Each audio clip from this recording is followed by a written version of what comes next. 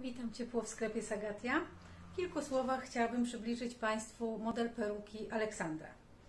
E, Aleksandra jest peruką z włosów syntetycznych o bardzo elastycznej bazie.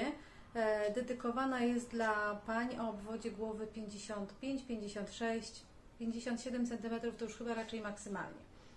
E, Peruka posiada oczywiście regulację obwodu głowy, pracuje w głębi, czyli dopasowuje się idealnie do kształtu głowy. Nie posiada żadnych wstawek lateksowych, nie ma żadnych przerzedzeń, tak jak tutaj widać. Pokażę może jak wygląda z każdej strony. Przód to jest grzywka zachodząca na prawą stronę pod le leciutkim skosem.